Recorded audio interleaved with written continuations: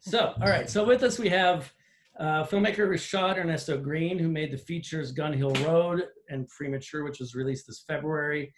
Uh, he won the Someone to Watch Award and was nominated for the John Cassavetes Award at the 2020 Independent Spirit Awards.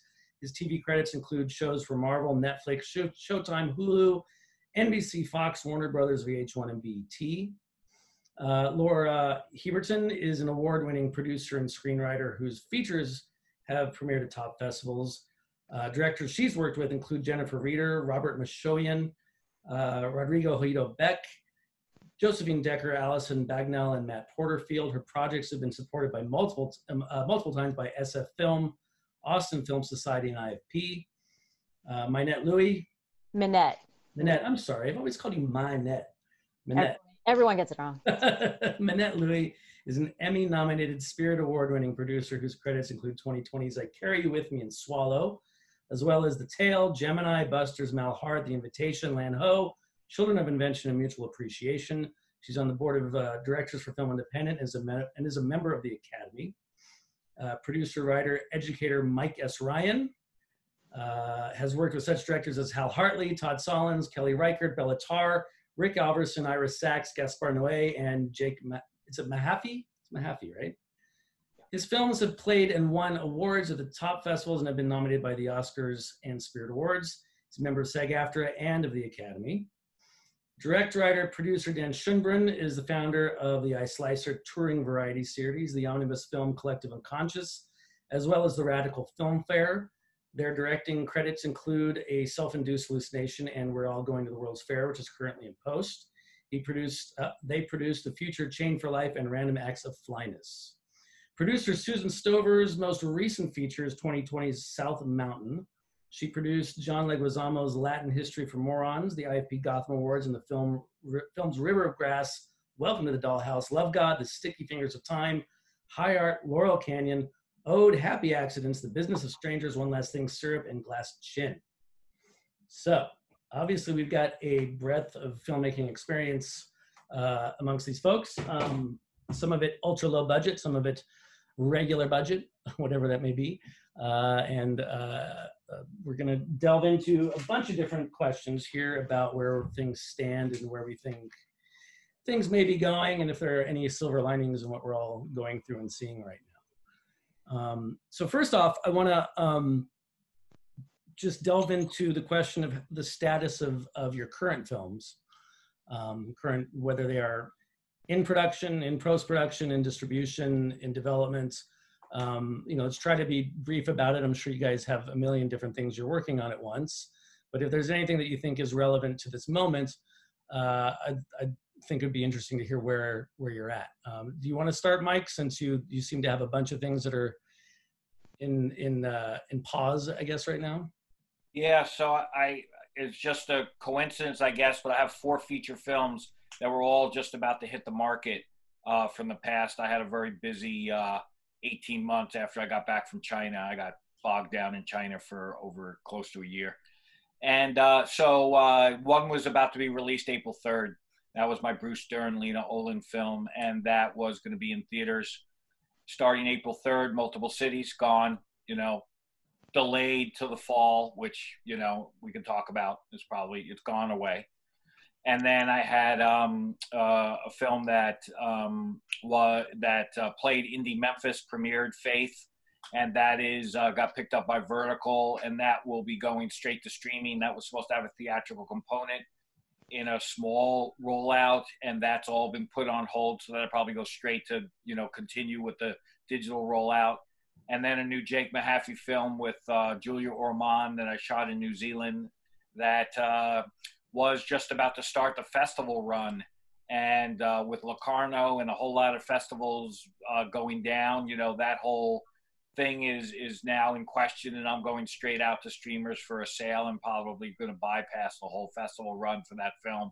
It's a it's a it's a art horror character driven so it can do that and then i have another film that i shot in new orleans in december which is a straight art film very with joe cross called stay at condor beach which could not go straight to the streamers because it's such an um, an oblique structure and it was shot on 35 millimeter film and so that we're like in hold for an unknown about a festival. It couldn't make Cannes. It wouldn't be a Cannes type film, but it would be possibly you know another type of European festival, and so that's also in hold. So I'm in four different types of hold right now, basically.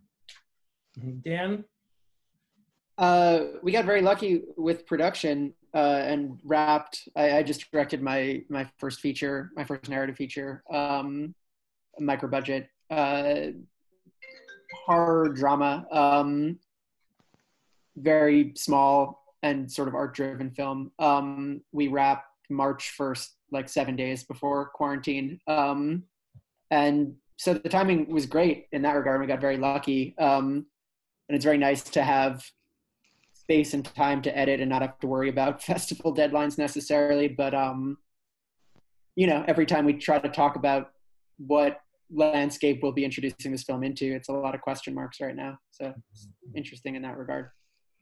now Mynette Rashaad, you just released films, correct? Did Yeah, either Talk first, so he can talk in? first. Right before he, he went first, and then I went the following week. Yeah. Oh, that's right. So yeah, you were on Swallow. Yeah.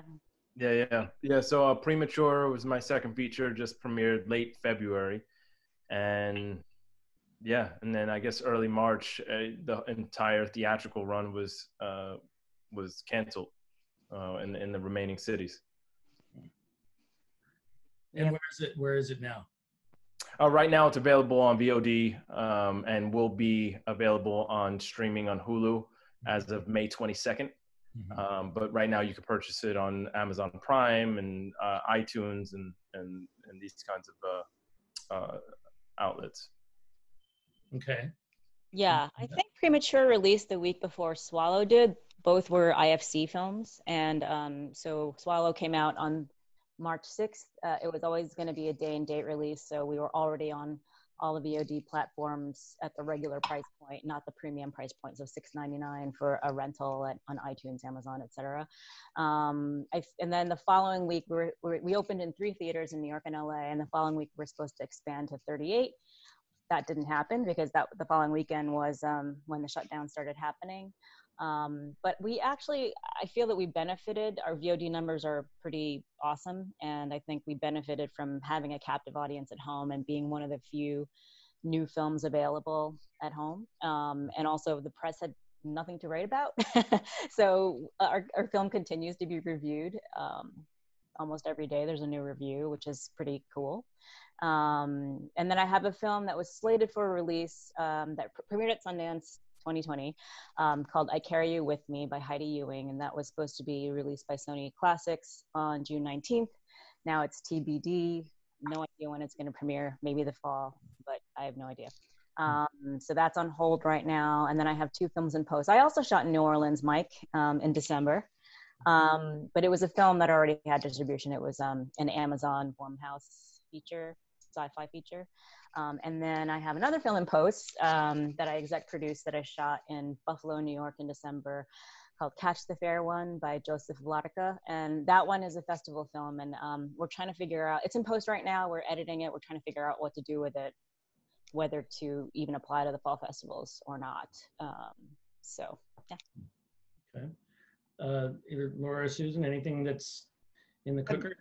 Very, very similar. South Mountain was had a theatrical release the first week of March, I guess it was, um, or second week. Small theatrical release, New York and Los Angeles, and it was canceled. Um, it will appear though next week on VOD, and we'll just take it from there. So it's disappointing. I mean, it was a small theatrical release, but that's the reality, and that's how we're dealing with it. And hopefully, we will benefit from, as Mynette said, the sort of captive audience. Um, not a lot of new content being released other than some of the docu series on Netflix. Um, so hopefully, we are trying to capitalize on that as well.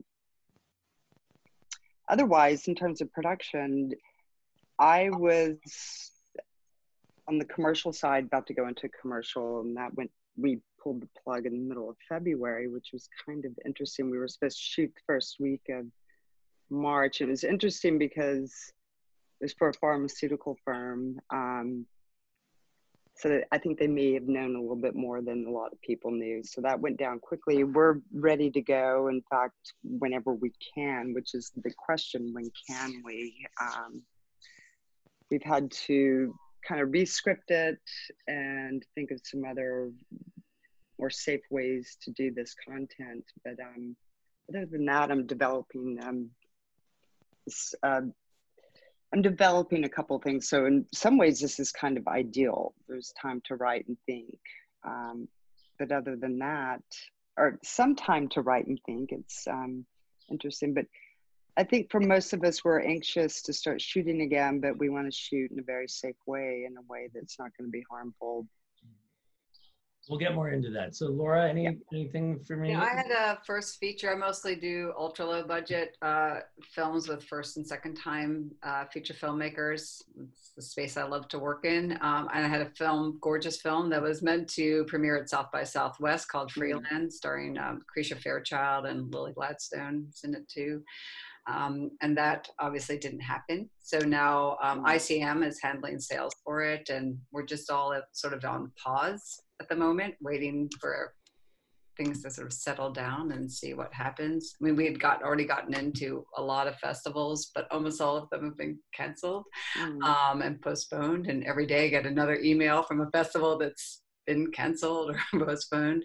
Um, and then I have a film again a first time a first time narrative feature film uh, starring lily. Um, that's totally coincidental. Um, and we were meant to shoot the very last week of production at the beginning of april because that's a film we've been shooting with uh, with the seasons. And uh, that obviously got uh, put on hold. But luckily, it's a very pared down shoot. We figured out a way to really pare it down. Um, it's really only Lily's in the in those scenes, and so we're hoping to be able to shoot that once we can, you know, get things up and running. With and there'll be five people on set altogether, so including Lily. So we're hoping that can be done sometime this summer. We can finish that film up, and then I have a few uh, scripts and, and, and projects in development.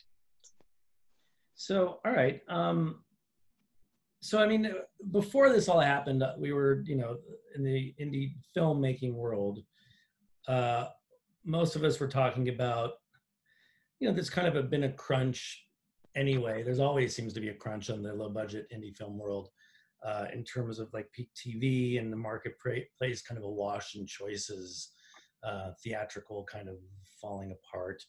And I'm curious where you guys, where your heads are at in terms of uh, how existential or not the current situation feels for on the low budget end for films that want to be in the below or must be in the below two million dollar end. Are we are we feeling that this is a a temporary setback or that this is a, a bigger thing that's going on?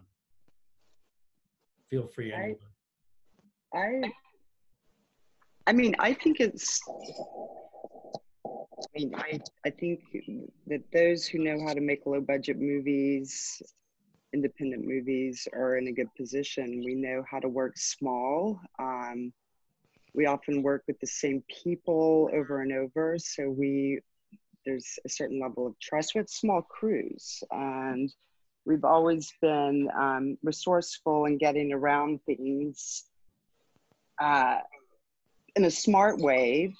So I think it's it's not bad news for that space, that size of filmmaking.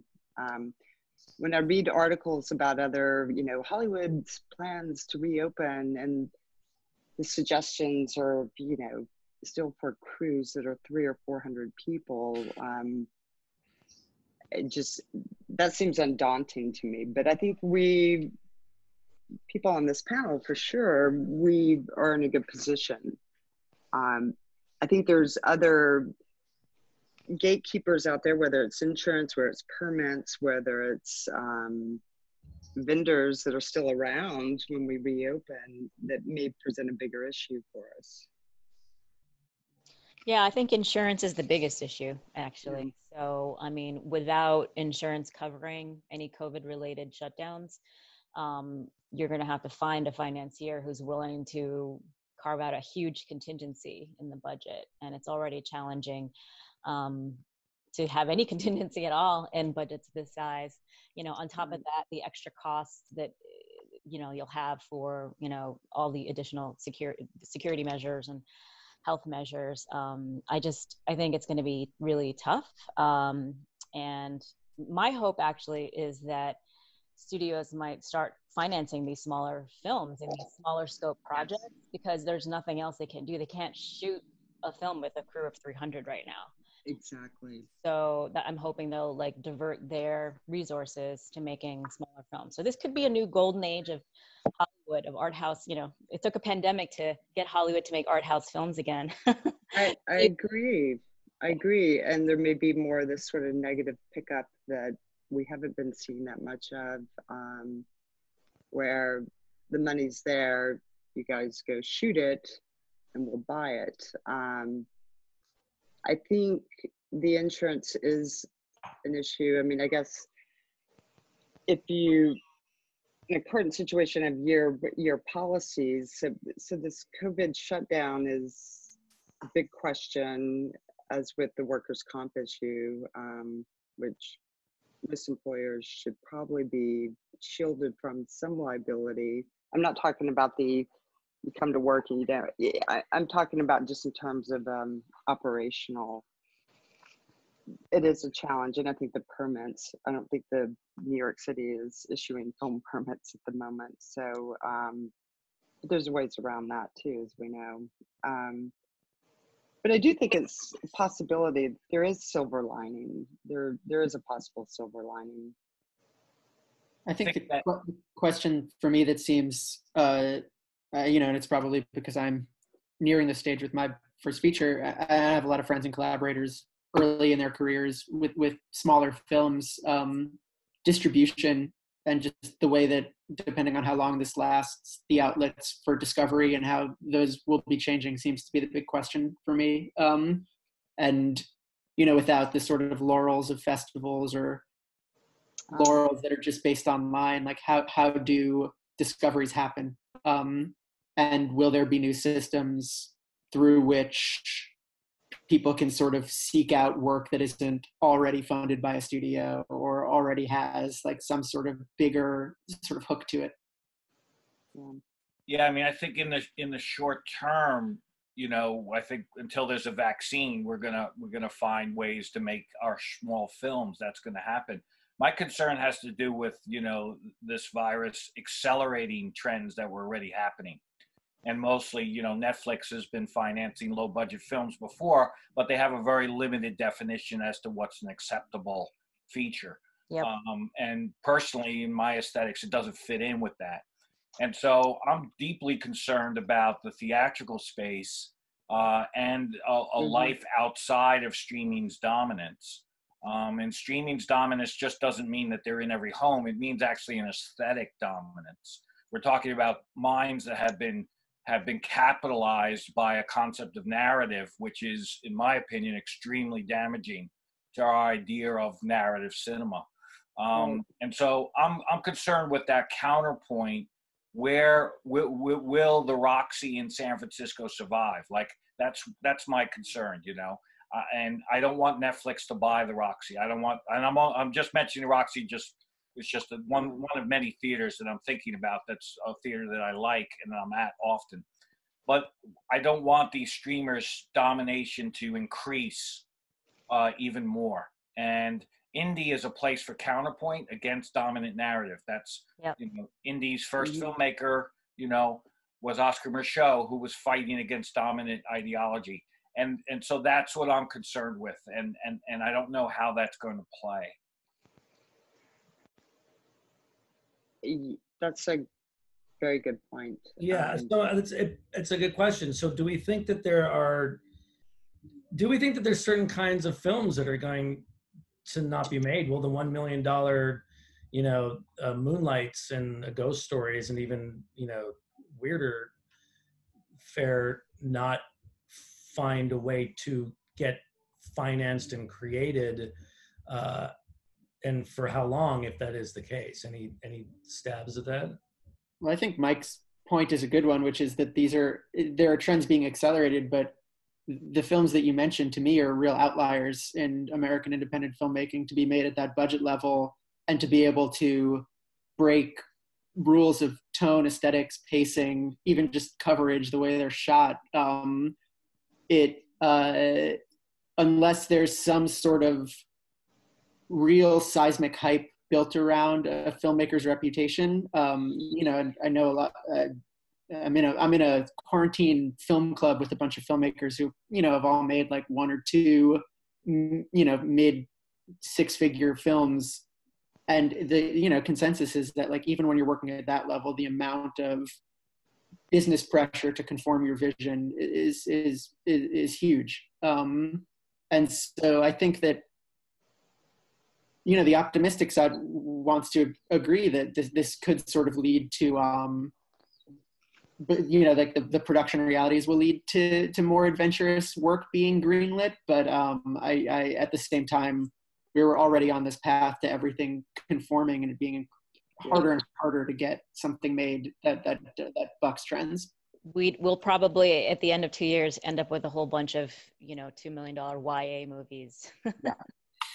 but I think I think um, Dan's right. But I do think there is. It could be exciting. We could actually finance people these smaller films with these great visions. But to Mike's point, like where are they going to go? That's that's the thing that's that's the thing that's terrifying me right now. I mean, we just have this model. We do these films. I work with people no one's heard of. Generally, you know, we get the films out there, and the festival buzz and excitement is really how we sell them. So again, what what do we do when we don't when you don't when you don't I read there was an article recently in Screen that talked about IDFA, um, the documentary festival, how they've really built out their site um, to point people to links uh, of their past films and their past filmmakers, and they you know points directly to like a, YouTube link or a VHX link or or the you could rent the film on Amazon. So um, they said that their traffic has like exploded um, since the since the pandemic happened. So I mean,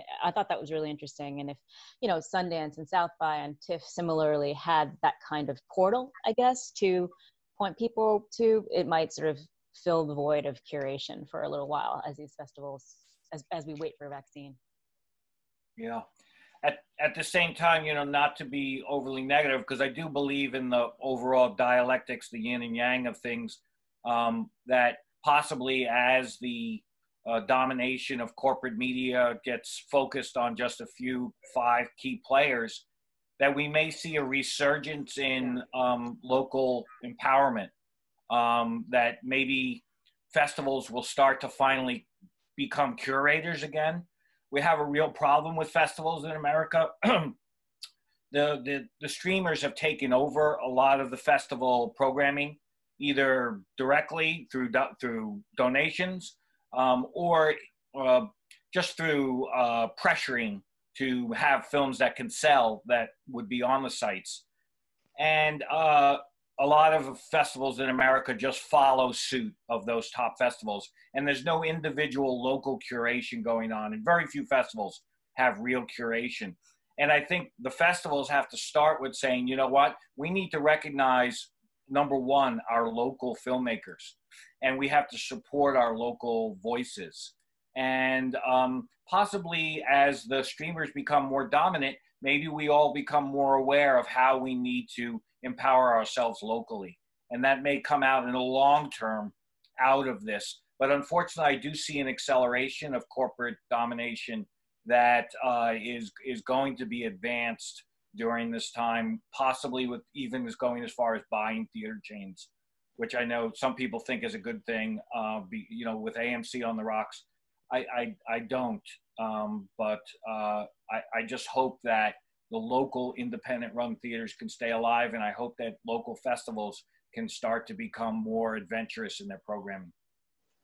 So, in bringing it back to to the to, to production for a moment, um, where do we think that that in the in the low budget space, the non-streaming studio space, where do we think that money is might be coming from for production? I mean, we you know it's already hard enough to get these films financed uh, with a shrinking economy and everybody's 401ks and everything who has them going to hell. Uh, I really do wonder where where are we finding financing, especially in a country that doesn't do it through the government and will no longer be doing practically anything through our governments, considering what's going on. Any any thoughts?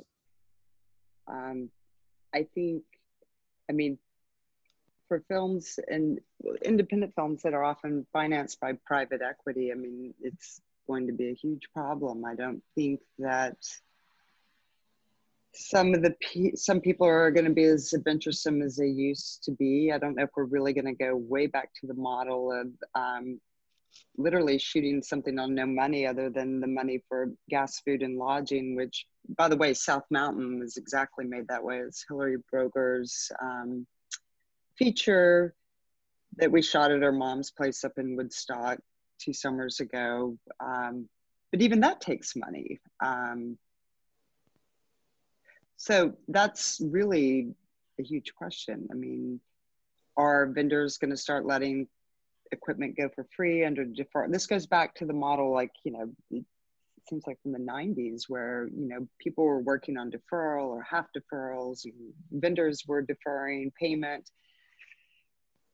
You know, very speculative. Um, you know, as you mentioned, grants and those sorts of programs that have supported a lot of filmmaking in this space. Certainly, the sorts of films that Mike is talking about, certain films that all of everyone on this panel has been involved with. I don't know. I don't know where that money is going to come from. Well, I mean, so we've all been involved in, in at some point in our careers, super ultra no budget, mm-hmm. whatever films credit uh, card financed. Yeah. yeah, I mean, Rashaad. I mean, have you, uh, Dan? You guys both. I mean, it was Gun Hill Road made. How did you get Gun Hill Road made? Was that? Yeah, I mean, actually, Premature was was self financed, predominantly self financed. But Gun Hill Road, um, I had a financier, um, Ron Simons, who was at Simon Says Entertainment. Um, met with me for lunch one day and you know asked me what I had going on and and said you know he'd like to help me out and so that's how that uh, came about and i was able to take it from what i thought was going to be a $50000 film to a $500000 film overnight and then i got to you know cast actors based on the bigger budget. Uh, with premature knowing that i had been out of the game for a few years i knew i was going to you know have to do that financing dance which i wasn't really excited about and i decided to just take you know my my years of savings from television and um, that combined with a, a, dear friend of mine uh, susan Coletri watson who helped out uh, as well as uh, cinereach um, uh, and then once we were in post and got into sundance uh, we had help from astute films and slice entertainment a couple of co- companies that came in um, to help us uh, through post.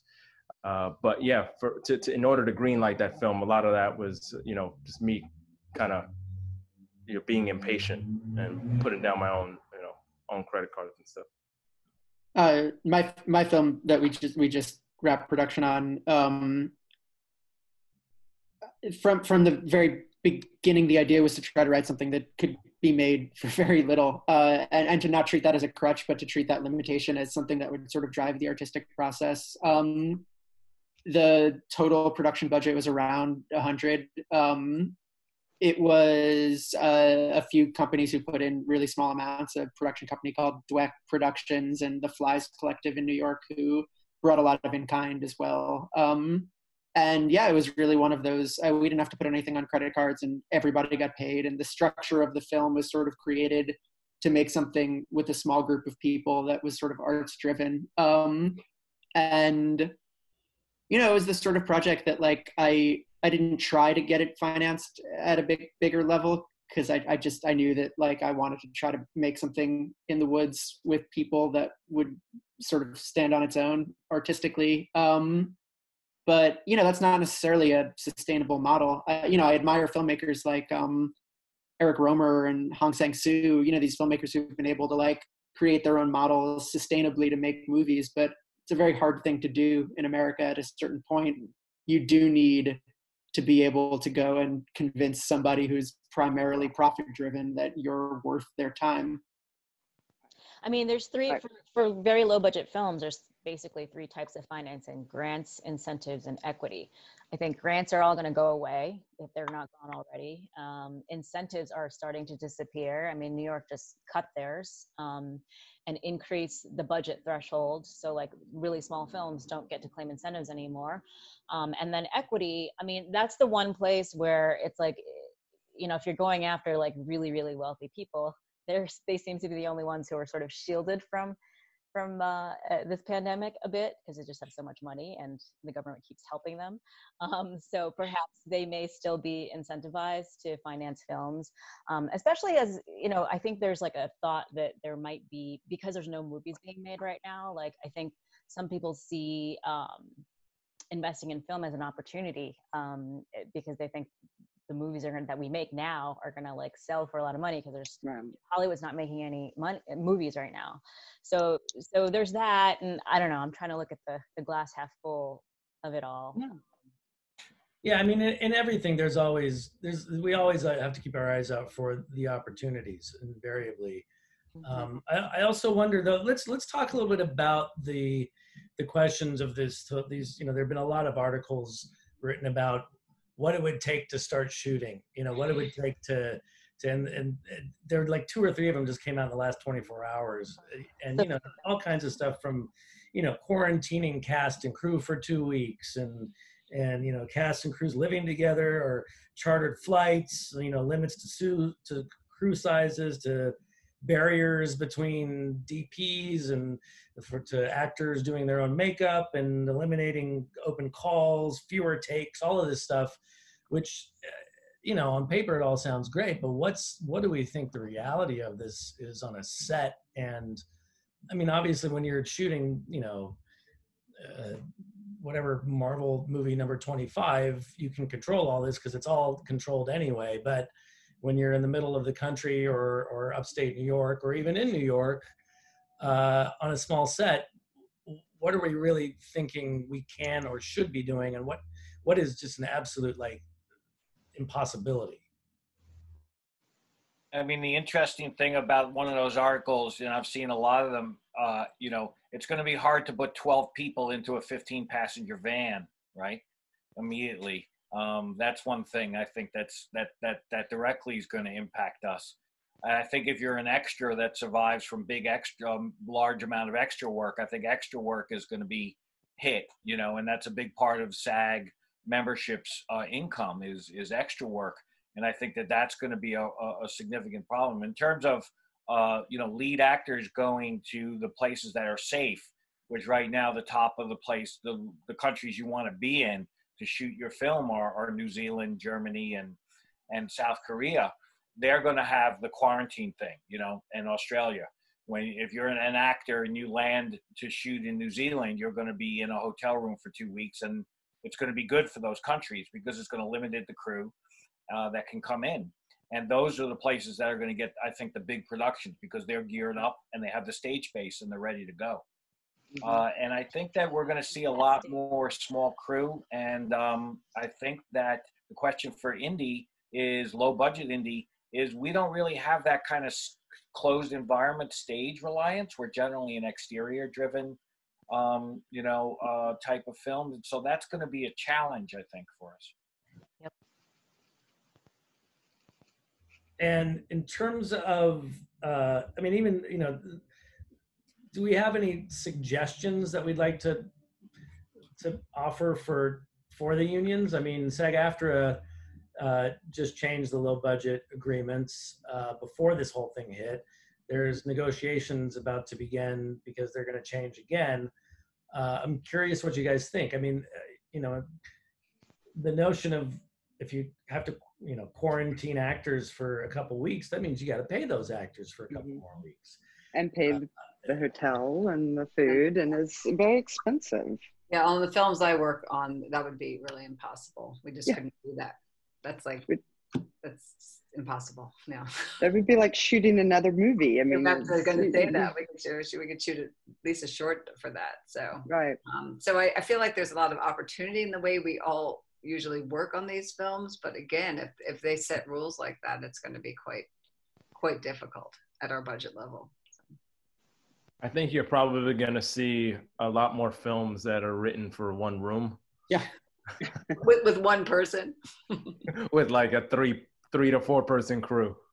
A two-hander. A lot of animals. A lot of animals. Like a field, A lot of exteriors, yes. Skills, right? Yeah, that works too. middle of nowhere. I Right. actually do. I was one of my questions for for towards the end was asking what what don't we want to see being made about right now? like what? to see people in face masks on screen. No, um, it's a good question.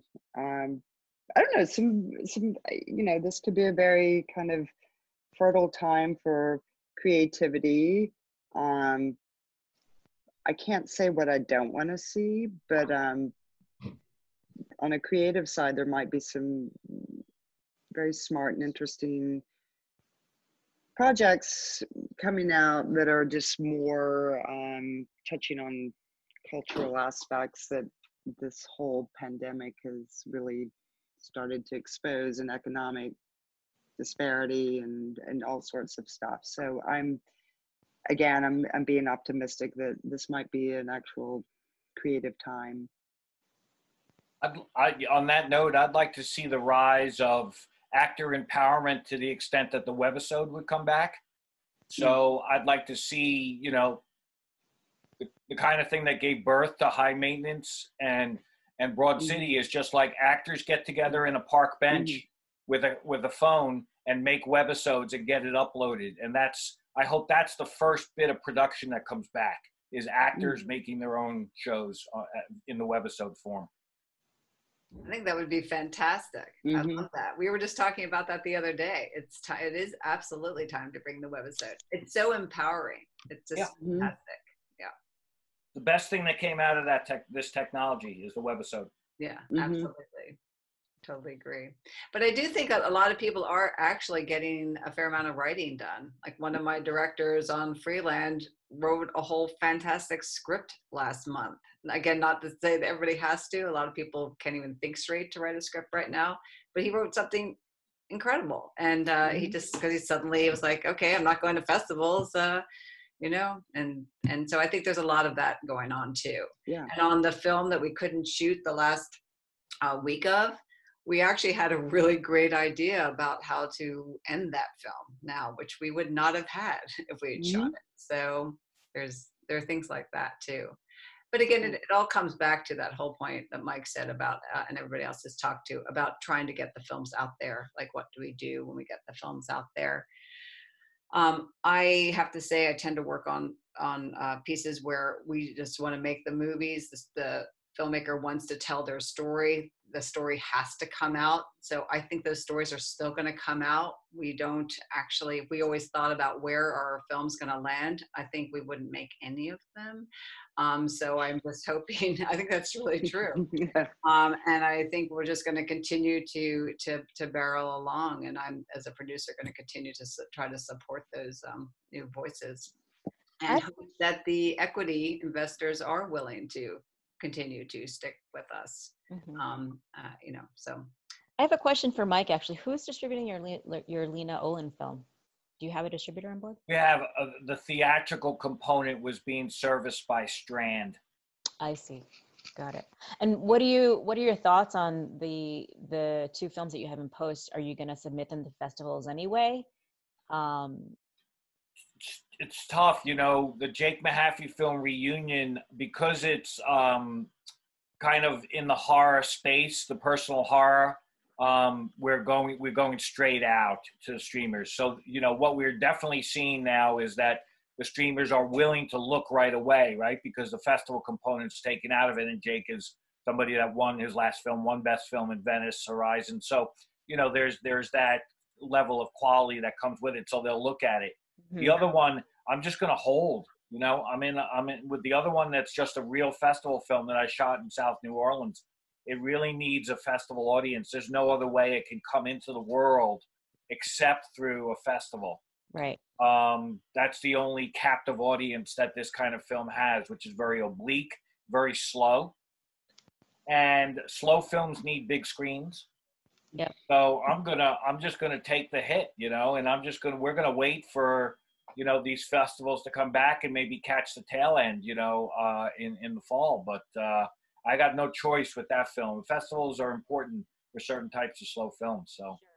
But with just you don't think it's you don't think it's worth it just to like slap on a Locarno logo or slap on a Venice logo, you know, even if those fests don't happen. Is that helpful for the marketing, you think?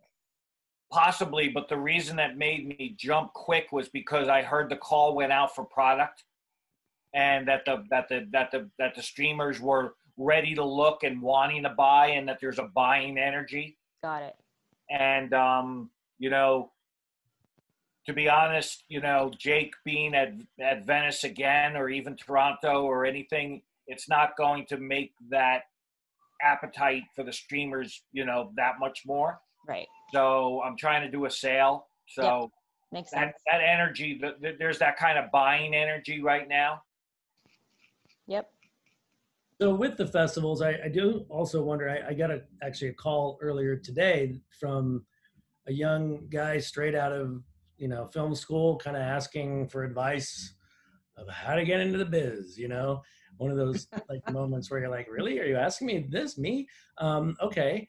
Uh, but you know, every answer I was giving him sounded like an answer I would have given him three or four months ago, uh, and it's it's you know with film festivals so much of what they are aside from being markets and being ways to get uh, press and some word of mouth is is a means of of um, networking and meeting you know not just the folks that you want to sell your films to but the people that you want to make your next ones with uh, if the festival market is going to shrink this festival world is going to shrink uh, which I think it's going to. I mean, we're going to see a lot of less festivals after this. There's no way they're all going to survive. Hmm. Um, what do we think? How do you? How do young filmmakers, new filmmakers, kind of meet their their posse and and and uh, move forward? I've been really um there has been like a, a, an interesting social aspect to quarantine, at least among filmmakers that I've seen online and um, you know, especially in like the immediate aftermath, just seeing like DIY theaters setting up Twitch streams of movies that were screening 24 seven and filmmakers congregating in the chats. I just logged on for my friend Marnie's um, online Q and A uh, for a virtual screening of her amazing film Crestone that was slated to premiere at South by Southwest, but is now was temporarily available online. Uh, I, I've mentioned this before, but like I've, I've just joined a film club with a bunch of filmmakers. There are opportunities. What Zia Anger has been doing with um, her live performance of um, my first film, which is uh, this this live performance that she does with the film that she made several years ago. She's been booking 800 people a night and doing sort of an interactive performance with them online with her film. People are finding ways to communicate virtually. Um, what I think is still missing, or what the question mark is for new films, is is what the equivalent in the short term, at least, of the Locarno Laurel is online. You know, if you don't want to wait years for the festival circuit to reestablish itself, what are new ways that people can stand out and establish themselves? Uh, you know, in the in the virtual space. I will say that I'm a lot more available now. You know, so if there's like, um, you know, young filmmakers that need mentorship or anything like that, like people have more availability on their hands to uh, mentor or, you know, respond and go through their email inbox and answer, you know, and just, or, or do panels or, you know, whatever it is, it seems like a lot of people have the ability now to help out in ways that they weren't able to help out before.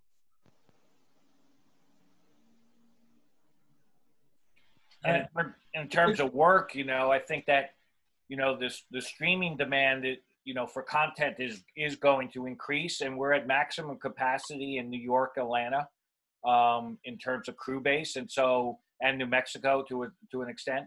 I think that the the the production centers in the United States is going to expand, um, and that you know a lot of these new TV shows, you know, we're we're backed up. They've got to finish the old shows and all of that space was is booked and i think young people or emerging filmmakers need to think of themselves as you know people who are working on other shows and those need to get redefined. Those cities outside of New York and Atlanta, and I think communities can form among young filmmakers in other places now.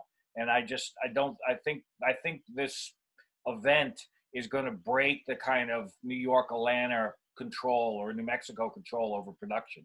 And I feel like we're going to get a more diversified, spread out uh, sense of production uh, centers, and hopefully they'll have their own local situations. But I think it, that's a positive thing. I think.